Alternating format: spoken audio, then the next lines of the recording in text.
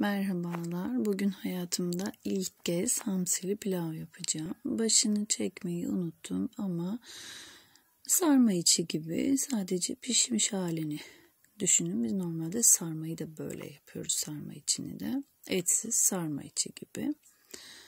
Bu şekilde. Canım eşim bana hamsili pilav yapıyor.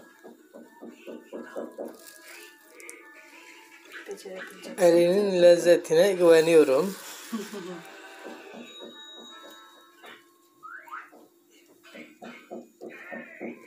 Hamsilerin için böyle temizlemiş, kılçıklarını almış. Önce hamsinin altını komple seriyoruz. Hamsilerimiz burada. Sonra kenarlarını da serpen böyle sereceğiz şu şekilde. Ondan sonra üstünü kapatıp fırına vereceğiz.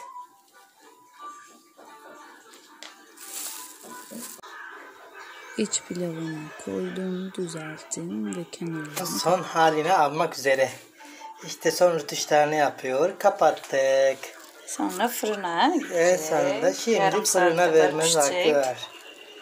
Kaç saat? Yarım saat. Yarım 25 saat. dakika diyor. Ay, yarım saat falan.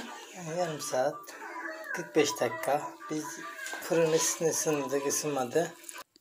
Bu da son hali. Üzerini daha sıkı kapatsaydım iyi olacaktı. Tadı güzeldi. Deneyeceklere afiyet olsun.